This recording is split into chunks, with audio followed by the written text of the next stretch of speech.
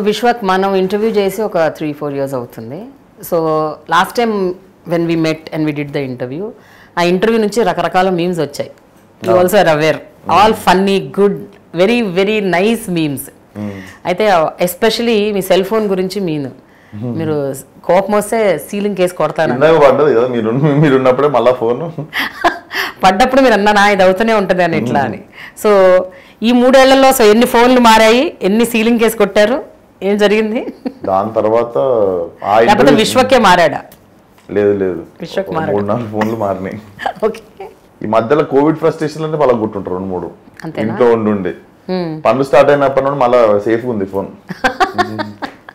పని ఉంటే చాలండి బేసిక్ వేరే ఏమి ఉండవు. బేసిక్గా మనం ఫైట్స్ ఇవి కూడా జరగవు.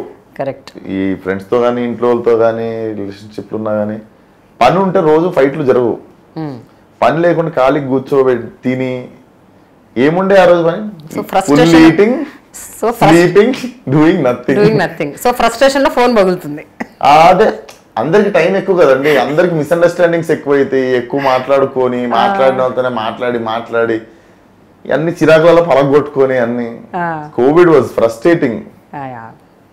అమ్మో దానంత నరకం లేదు. అంటే you have money but you can't spend it exactly you exactly have money but you can't travel yeah it's like you are young but Ah, you can't. Explore anything ముందేమో టైం ఉండే.